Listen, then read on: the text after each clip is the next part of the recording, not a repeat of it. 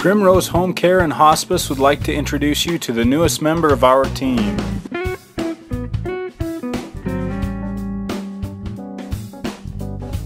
This is a 1923 Buick convertible that was restored in honor of one of our very first hospice patients.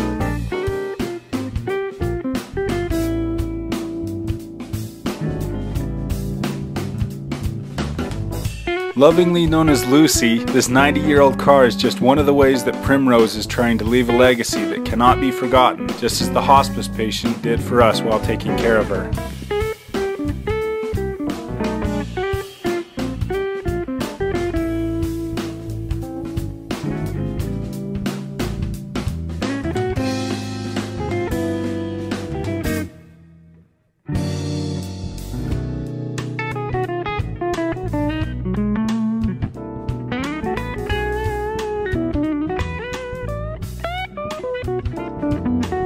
Lucy left an impression that will stay with us forever, and we hope to build a legacy just like hers.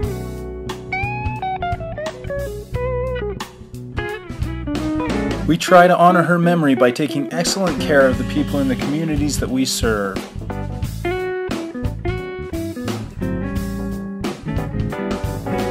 So come join Primrose and let us take you on a little trip down memory lane with Lucy.